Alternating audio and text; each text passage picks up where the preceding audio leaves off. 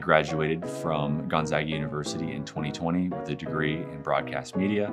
I think the origins of uh, filmmaking for me started when I was a kid, when I was making stop motion Lego videos. And then I started making videos with my brothers as well and my friends. I, I wanted to pursue video and film as a career path. And that's why I ended up choosing the broadcast major at Gonzaga University and what's set me on this path that I'm currently on. I work full-time as a producer for a production company called Colormatics. It's hard to say what an average day at work looks like because days can be really, really different. There are days where I'm in the office all day and I'm doing pre-production or I'm wrapping up a production that just happened. And there are days when I'm on set in, you know, who knows what city. We shoot stuff here in Spokane all the time.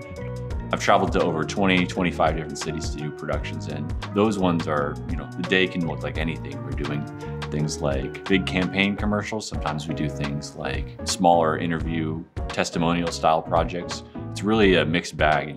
That's probably one of the more exciting things about my job is the variety of uh, different tasks and projects that I work on. I think one way that GUTV prepared me for this kind of career and this kind of position during my freshman year, I was tasked with producing the uh, class final for that semester called the Ask Professor Dan show.